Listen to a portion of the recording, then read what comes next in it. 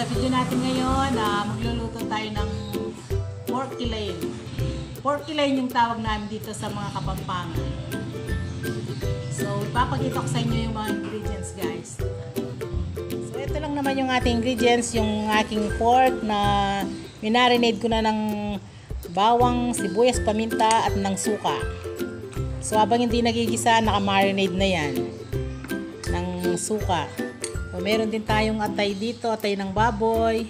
So, yung taba, iniwalay ko, ipiprito ko muna bago ko isali dito sa laman. At meron din tayong bawang sibuyas at ng baga, baga ng baboy yan. Ayan. So, tara guys, samahan nyo ako magluto. So, na natin guys. So, sa ating kawali, maglagay na tayo ng konting tika. Tayo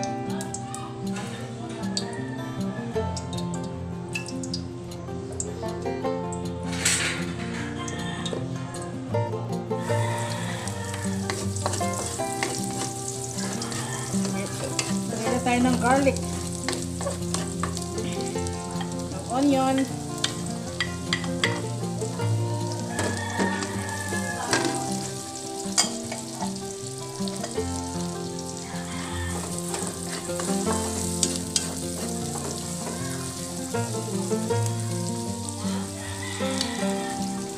So, ng paminta.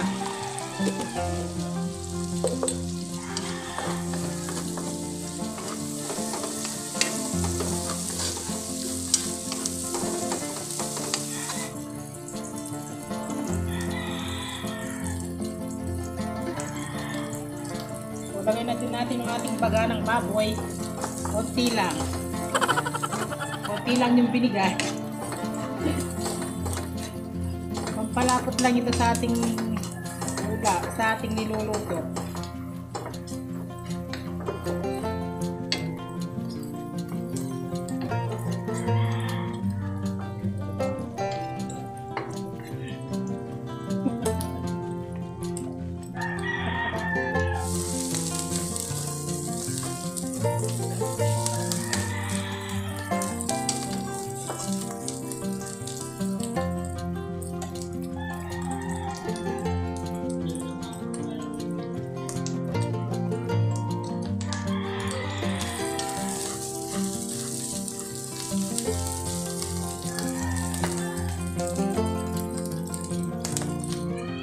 Maglagay na rin tayo ng fish sauce.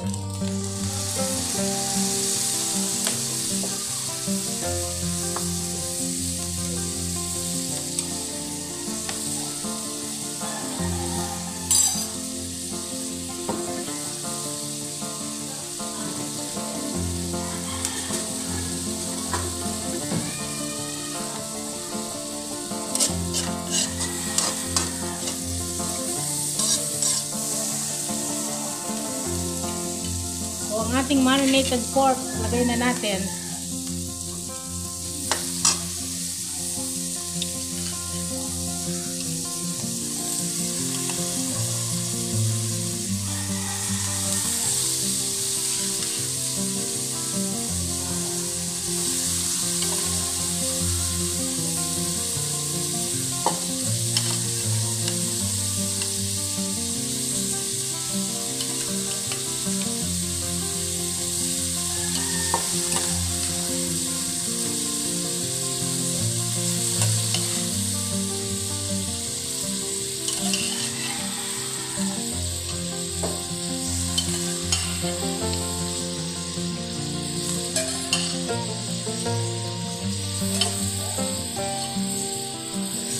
Yung pinag-marinate na suka, wag itapon kasi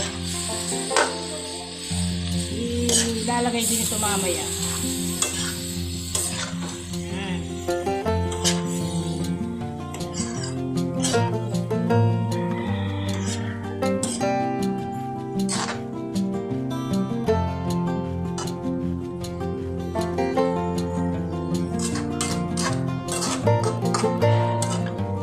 Ganito lang ito guys. Uh, bali suka lang yung sangkap niya. Hindi katulad matagal pa bago masira. Kahit isang linggo hindi masisira. So un- unlike yung minudo, merong mga sauce. Pero itong kilay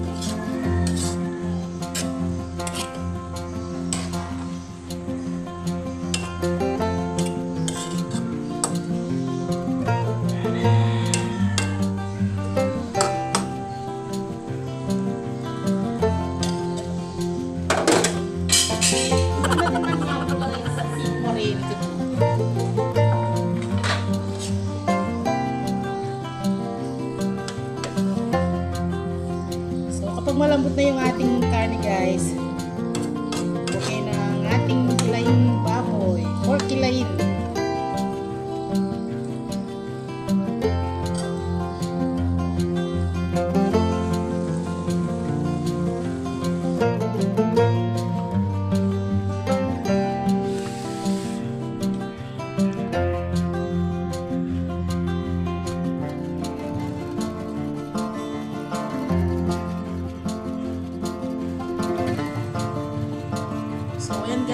Ito na ang ating pork pork kilayin. Ready to serve. Kain na tayo.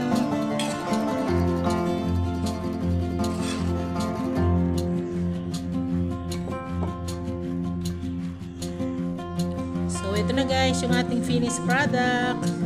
Ang ating pork kilayin pork lane. Kain na tayo. Salamat sa panonood. Ingat and God bless. Oh, eh.